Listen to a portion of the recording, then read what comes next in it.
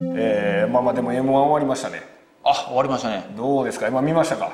いやえー、と敗者復活から全部見た。あ全部見た、うん全部見た。俺も全部見たわ。やっぱす面白かったな。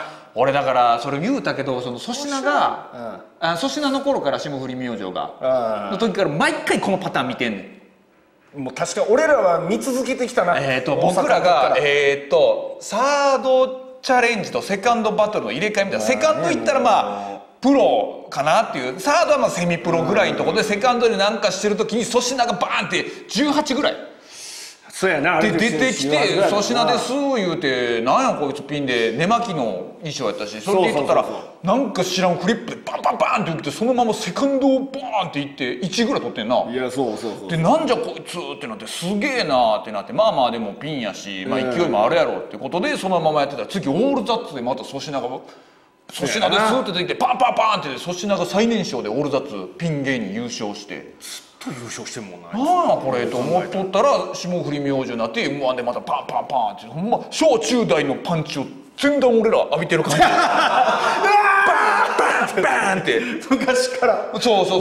もう見たってこの感じと思って それおめでとうやけど。いやーすごかったな。毎回なんか目の前で見見せられてる感じするな。そうやな。あいつらのすごさいやあいつらはすごいわせいやと組み立ての時なんか「もうせいや大丈夫か?」みたいな周りの人にめっちゃ言われてたけど「あもうあの絶対売れるんで」って言い張ってたもんあはこいつ天才なんで」つって。ええだからそう最初は粗品のフリップの感じはあれせいやがやってるだけやみたいな、よう言われてたよ、ああもう全然大丈夫ですよこいつ天才ですずーっと言ってたよ。確かに天才でしたわ。最初の頃のせいやはやばかったもんな。せいややばかった。なんかさでなんか笑い飯さんとかの番組呼ばれてもさ「そうなんですよ哲代さん哲夫さん」っつって。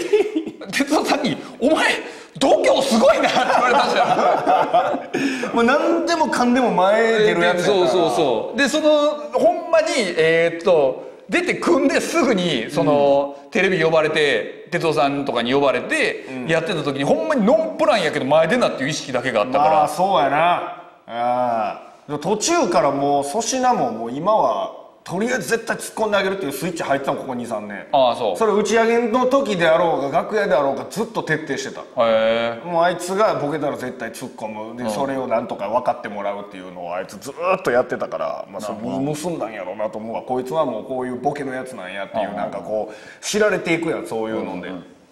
いやめちゃめちゃすごかったよなやっぱり。